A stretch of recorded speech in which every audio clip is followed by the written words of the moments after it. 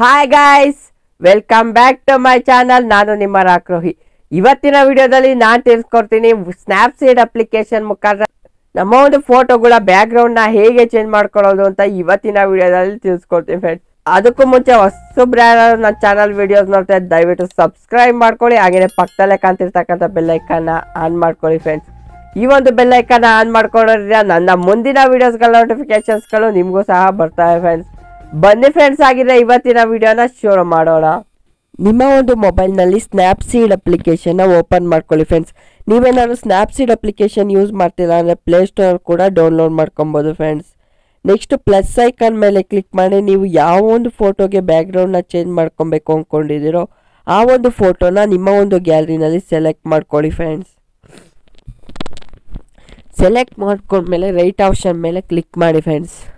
ನಿಮ್ಮ ಒಂದು photo Snapseed ಅಪ್ಲಿಕೇಶನಲ್ಲಿ ಓಪನ್ ಆಗುತ್ತೆ ಫ್ರೆಂಡ್ಸ್ ನೆಕ್ಸ್ಟ್ ನಿಮಗೆ ಇಲ್ಲಿ ಟೂಲ್ಸ್ ಆಪ್ಷನ್ ಇದೆ ಫ್ರೆಂಡ್ಸ್ ಇಲ್ಲಿ ಕ್ಲಿಕ್ ಮಾಡಿ ಡಬಲ್ ಎಕ್ಸ್ಪ್ಲೋಜರ್ ಆಪ್ಷನ್ ಇದೆ ಫ್ರೆಂಡ್ಸ್ ಈ ಒಂದು ಆಪ್ಷನ್ನ ಸೆಲೆಕ್ಟ್ ಮಾಡಿಕೊಂಡು ಫೋಟೋ ಪ್ಲಸ್ ಐಕಾನ್ ಇದೆಯಾ ಫ್ರೆಂಡ್ಸ್ ಇಲ್ಲಿ ಕ್ಲಿಕ್ ಮಾಡಿ ನೀವು ಯಾವ ಬ್ಯಾಕ್ಗ್ರೌಂಡ್ನ ಆ್ಯಡ್ ಮಾಡ್ಕೊಬೇಕು ಅಂದ್ಕೊಂಡಿದ್ದೀರೋ ಆ ಒಂದು ಬ್ಯಾಕ್ಗ್ರೌಂಡ್ನ ಸೆಲೆಕ್ಟ್ ಮಾಡ್ಕೊಳ್ಳಿ ಫ್ರೆಂಡ್ಸ್ ನಿಮ್ಮ ಫೋಟೋಗೆ ಯಾವ ಬ್ಯಾಕ್ಗ್ರೌಂಡ್ ಹಾಕ್ಕೊಬೇಕು ಅಂದ್ಕೊಂಡಿದ್ದೀರೋ ಆ ಒಂದು ಫೋಟೋನ ಇಲ್ಲಿ ಸೆಲೆಕ್ಟ್ ಮಾಡ್ಕೊಳ್ಳಿ ಫ್ರೆಂಡ್ಸ್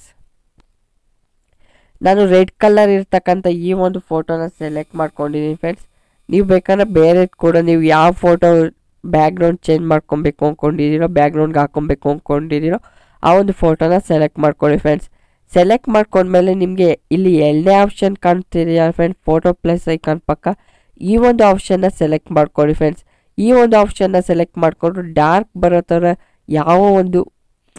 ಆಪ್ಷನ್ ಕಾಣುತ್ತೋ ಆ ಒಂದು ಆಪ್ಷನ್ನ ಸೆಲೆಕ್ಟ್ ಮಾಡ್ಕೊಳ್ಳಿ ಫ್ರೆಂಡ್ಸ್ ಇಲ್ಲಿ ಡಾರ್ಕು, ಲೈಟನ್ನು ಆದ್ಮೇಲೆ ಆ್ಯಡು ಓವರ್ಲೆ ಪ್ರತಿಯೊಂದು ಆಪ್ಷನ್ನು ಇದೆ. ನಾನು ಡಾರ್ಕ್ನ ಸೆಲೆಕ್ಟ್ ಮಾಡ್ಕೊಂಡು ನಿಮ್ಮ ಪಕ್ಕದಲ್ಲಿ ಪೇಂಟ್ ಥರ ಒಂದು ಆಪ್ಷನ್ ಇದೆ ಫ್ರೆಂಡ್ಸ್. ಈ ಒಂದು ಆಪ್ಷನ್ನ ಸೆಲೆಕ್ಟ್ ಮಾಡ್ಕೊಳ್ಳಿ ಫ್ರೆಂಡ್ಸ್. ಈ ಒಂದು ಆಪ್ಷನ್ನ ಸೆಲೆಕ್ಟ್ ಮಾಡಿಕೊಂಡು ಡಿ, ಫುಲ್ಲು ಇನ್ಕ್ರೀಸ್ ಮಾಡ್ಕೊಳ್ಳಿ ಫ್ರೆಂಡ್ಸ್. ಇನ್ಕ್ರೀಸ್ ಮಾಡ್ಕೊಂಡ್ಮೇಲೆ ನೀವು ರೈಟ್ ಆಪ್ಷನ್ ಮೇಲೆ ಕ್ಲಿಕ್ ಮಾಡಿ ಫ್ರೆಂಡ್ ಫುಲ್ಲು ನಮ್ಮ ಒಂದು ಬ್ಯಾಕ್ಗ್ರೌಂಡ್ ಮಾತ್ರ ನಮ್ಮ ಒಂದು ಫೋಟೋ ಕಾಣ್ದಂಗೆ ಬ್ಯಾಕ್ಗ್ರೌಂಡ್ ಕಾಣೋ ಥರ ಫುಲ್ಲು ಇನ್ಕ್ರೀಸ್ ಮಾಡ್ಕೊಳ್ಳಿ ಫ್ರೆಂಡ್ಸ್ ನೆಕ್ಸ್ಟು ಈ ಒಂದು ಬ್ಯಾಕ್ಗ್ರೌಂಡ್ನ ನೀಟಾಗಿ ಅಡ್ಜಸ್ಟ್ ಮಾಡ್ಕೊಳ್ಳಿ ಫ್ರೆಂಡ್ಸ್ ಅಡ್ಜಸ್ಟ್ ಮಾಡ್ಕೊಂಡ್ಮೇಲೆ ನಿಮಗೆ ಇಲ್ಲಿ ಒಂದು ರೈಟ್ ಆಪ್ಷನ್ ಕಾಣ್ತಿದೆ ಫ್ರೆಂಡ್ಸ್ ಈ ಒಂದು ರೈಟ್ ಆಪ್ಷನ್ ಮೇಲೆ ಕ್ಲಿಕ್ ಮಾಡಿ ಫ್ರೆಂಡ್ಸ್ ರೈಟ್ ಆಪ್ಷನ್ ಮೇಲೆ ಕ್ಲಿಕ್ ಮಾಡಿದ್ರೆ ನಿಮಗೆ ರೈಟ್ ಸೈಡಲ್ಲಿ ಟಾಪಲ್ಲಿ ಒಂದು ಆಪ್ಷನ್ ಕಾಣುತ್ತೆ ಫ್ರೆಂಡ್ಸ್ ಎಡಿಟ್ ಸ್ಟಾಕ್ ಅಂತ. ಈ ಒಂದು ಐ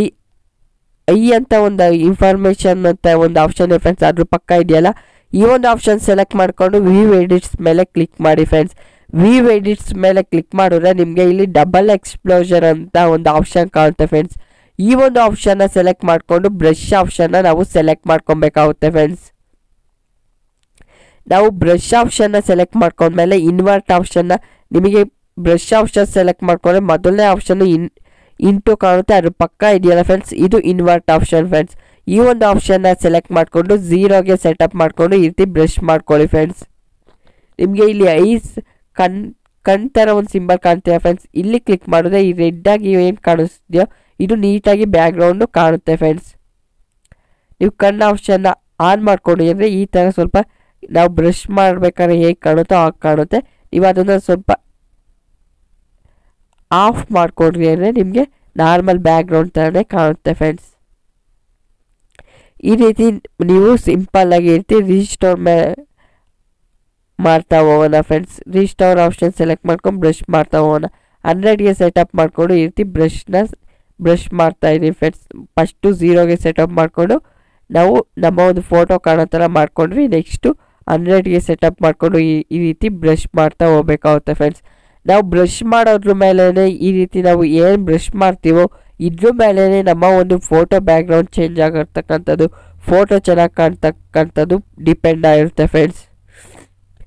ಇದ್ರ ಮೇಲೆ ಏಯ್ಟಿ ಪರ್ಸೆಂಟ್ ನಾವು ಬ್ರಷ್ ಮಾಡೋದ್ರ ಮೇಲೆ ಡಿಪೆಂಡ್ ಆಗಿರುತ್ತೆ ಫ್ರೆಂಡ್ಸ್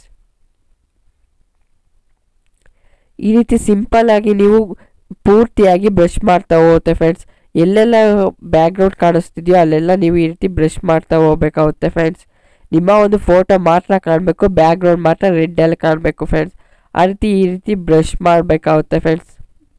ನೀವು ಈ ರೀತಿ ಬ್ರಷ್ ಮಾಡ್ಕೊಂಡ್ಮೇಲೆ ಝೂಮ್ ಔಟು ಝೂಮ್ ಇನ್ ಮಾಡಿಕೊಂಡು ನೋಡಿ ಫ್ರೆಂಡ್ಸ್ ಯಾವ ರೀತಿ ಕಾಣುತ್ತೆ ಅಂತ. ನೆಕ್ಸ್ಟು ನಿಮಗೆ ಇಲ್ಲಿ ಏನಾದ್ರು ಎಕ್ಸ್ಟ್ರಾ ಪಾರ್ಟ್ ಸೆಲೆಕ್ಟ್ ಆಗಿದ್ರೆ ಎಕ್ಸ್ಟ್ರಾ ಏನಾದ್ರು ಬ್ರಷ್ ಮಾಡ್ಕೊಬೇಕು ಅಂದರೆ ನೀಟಾಗಿ ಈ ರೀತಿ ಝೂಮ್ ಇನ್ನು ಝೂಮ್ ಔಟ್ ಮಾಡಿಕೊಂಡು ಬ್ರಷ್ ಮಾಡ್ಕೊಬೇಕಾಗುತ್ತೆ ಫ್ರೆಂಡ್ಸ್ ಯಾಕಂದರೆ ನಮಗೆ ಝೂಮ್ ಜಾಸ್ತಿ ಝೂಮ್ ಮಾಡಿದ್ರೆ ಹೈಲೈಟ್ ಕಾಣುತ್ತೆ. ಝೂಮ್ ಇನ್ ಮಾಡಿದ್ರೆ ಏನಾದ್ರು ಹೈಲೈಟಾಗಿ ಕಾಣ್ತಿರ್ತಕ್ಕಂಥದ್ದು ಏನಾದ್ರು ಕಾಣ್ತಿದೆ ಝೂಮ್ ಮಾಡಿಕೊಂಡು ಬ್ರಷ್ ಮಾಡ್ಕೊಬೇಕಾಗುತ್ತೆ ಫ್ರೆಂಡ್ಸ್ ನೆಕ್ಸ್ಟ್ ಈಗ ರೈಟ್ ಆಪ್ಷನ್ ಮೇಲೆ ಕ್ಲಿಕ್ ಮಾಡಿ ಫ್ರೆಂಡ್ಸ್ ಈಗ ನಮ್ಮ ಒಂದು ಫೋಟೋಗೆ ಬ್ಯಾಕ್ಗ್ರೌಂಡು ಚೇಂಜ್ ಆಗಿದೆ ಫ್ರೆಂಡ್ಸ್ ಈ ಒಂದು ಫೋಟೋನ ಸೇವ್ ಮಾಡಬೇಕು. ನೀವು ಎಕ್ಸ್ಪೋರ್ಟ್ ಆಪ್ಷನ್ ಮೇಲೆ ಕ್ಲಿಕ್ ಮಾಡಿ ಫ್ರೆಂಡ್ಸ್ ನೆಕ್ಸ್ಟು ಸೇವ್ ಆಪ್ಷನ್ ಮೇಲೆ ಕ್ಲಿಕ್ ಮಾಡಿದ್ರೆ ಈ ಒಂದು ಫೋಟೋ ನಿಮಗೆ ಅಲ್ಲಿಗೆ ಸೇವ್ ಆಗಿರುತ್ತೆ ಫ್ರೆಂಡ್ಸ್ ಗ್ಯಾಲರಿ ಕೂಡ ಓಪನ್ ಮಾಡಿ ತೋರಿಸ್ತಾ ಇದ್ದೀನಿ. ಹಾಗೆಯೇ ತುಂಬ ಅಂದರೆ ತುಂಬ ಚೆನ್ನಾಗಿ ಕಾಣ್ತಿದೆ ಫ್ರೆಂಡ್ಸ್ ಫೋಟೋ ರೀತಿ ನೀವು ಕೂಡ ನಿಮ್ಮ ಫೋಟೋಗಳ ಬ್ಯಾಕ್ಗ್ರೌಂಡ್ನ ಚೇಂಜ್ ಮಾಡ್ಕೊಳ್ಳಿ ಫ್ರೆಂಡ್ಸ್ ಇವತ್ತಿನ ವಿಡಿಯೋದಲ್ಲಿ ನಾನು ತಿಳಿಸ್ಕೊಡ್ತೇನೆ ತುಂಬಾ ಸಿಂಪಲ್ ಆಗಿ ನಮ್ಮ ಒಂದು ಫೋಟೋಗಳ ಬ್ಯಾಕ್ಗ್ರೌಂಡ್ನ ಹೇಗೆ ಚೇಂಜ್ ಮಾಡ್ಕೊಳ್ಳೋದು ಅಂತ. ಈ ಒಂದು ವಿಡಿಯೋ ಯಾರಿಗೆಲ್ಲ ಇಷ್ಟ ಆದರೂ ದಯವಿಟ್ಟು ವಿಡಿಯೋಗೆ ಒಂದು ಲೈಕ್ ಮಾಡಿ ಫ್ರೆಂಡ್ಸ್ ಹಾಗೆಯೇ ಈ ಒಂದು ವಿಡಿಯೋ ಬಗ್ಗೆ ನಿಮ್ಮ ಅನಿಸಿಕೆಗಳನ್ನ ಕಮೆಂಟ್ ಬಾಕ್ಸಲ್ಲಿ ಕಮೆಂಟ್ ಮಾಡಿ friends thanks for watching my videos ಮುಂದಿನ ಒಂದು ವಿಡಿಯೋದಲ್ಲಿ ಇದಕ್ಕಿನ ಒಂದು ಒಳ್ಳೆ ಫೋಟೋ ಎಡಿಟಿಂಗ್ ಅಪ್ಲಿಕೇಶನ್ ಮುಖಾಂತರ ಮತ್ತೆ ಸಿಗೋಣ ಫ್ರೆಂಡ್ಸ್